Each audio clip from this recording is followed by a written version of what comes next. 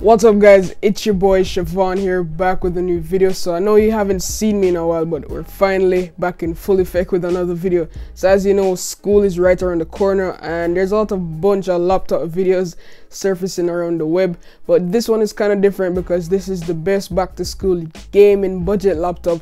So the laptop we'll be talking about is the Dell Inspiron 7559 and this one I have in front of me is 16 gigs RAM. I said before, um, Core i7, pretty good. But without any further ado, let's jump into the video.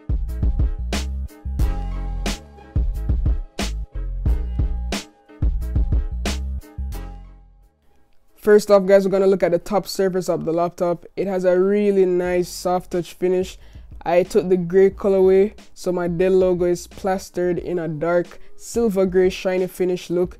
Now the soft touch finish that covers 80% of the laptop is something that isn't built for day-to-day use like torturing it. So you have to treat it with care and tender loving.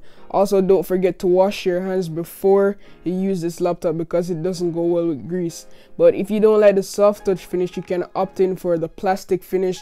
But to me the plastic finish does not feel as premium if we flip over this laptop, we are now exposed to a plastic surface that protects the bottom of the laptop. It is also accentuated with two red rubber strips and it prevents the laptop from sliding around when placed on a flat surface. We also have the subwoofer down there and also a single screw to access the internals.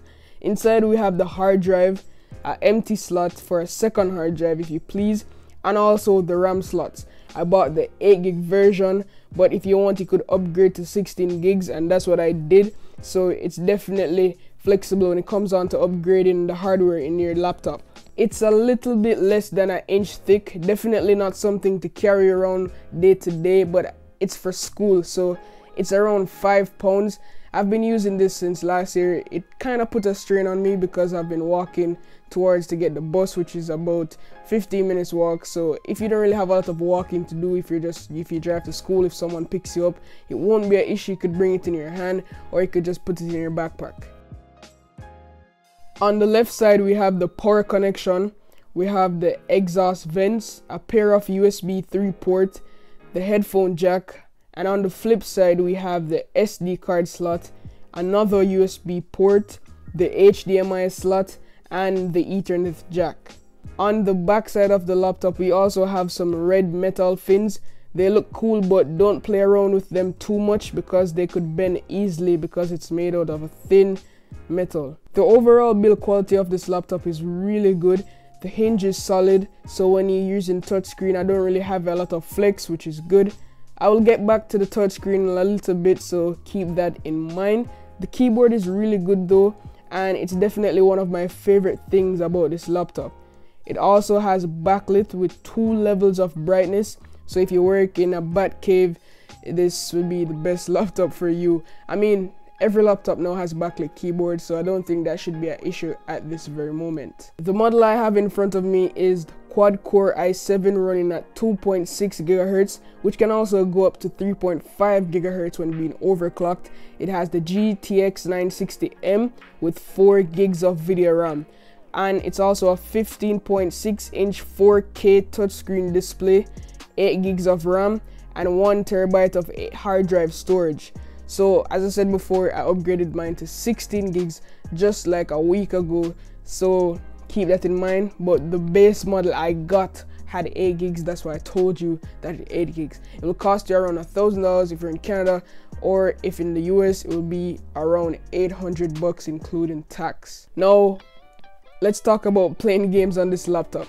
Playing games is really really fun and smooth especially when you bump it up to 16 gigs of ram I haven't had any issues running Black Ops 3 and GTA 5 on this thing. I usually get around 60 FPS on high settings. The trackpad is accurate enough.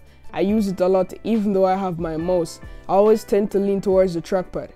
I really didn't love the texture on the surface so I got a carbon fiber skin from Dbrand to replace that instead and also it keeps it away from grease. Now let's go back to the screen as I said before I will get back to the screen. The screen is a 15.5 inch touchscreen display at a 4K resolution. The webcam up top is a 720p camera To be honest, I didn't use it until I was making this video and this is how it looks.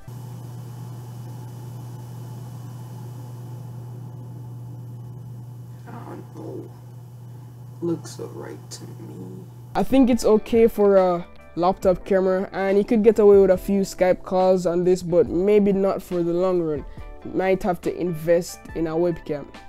Now, this is the laptop I use to edit all my 4K videos. The playback quality is very smooth when you set the playback quality to half, but the rendering times may take a while if you're running the 8 gig version.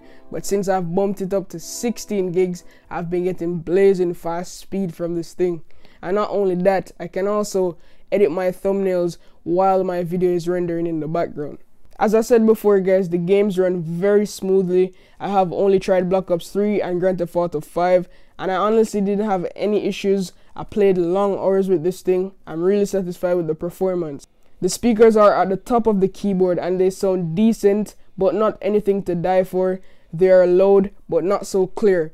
Mine at this very moment has a speaker issue and when it goes up to the high decibel range it tends to buffer and have this weird sound that I don't really like. So what I do instead is I use a wireless headphone or you could hook up a Bluetooth speaker to this thing instead of using the internal speakers because they tend to be a nightmare. The system noise isn't so bad. It idles around 20 decibels and goes up to 36 when playing games.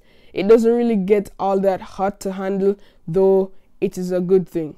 The battery life isn't all that bad. I get around 4 hours on full charge while browsing, but when consuming media and games, it lasts around 2 hours, which is to be expected.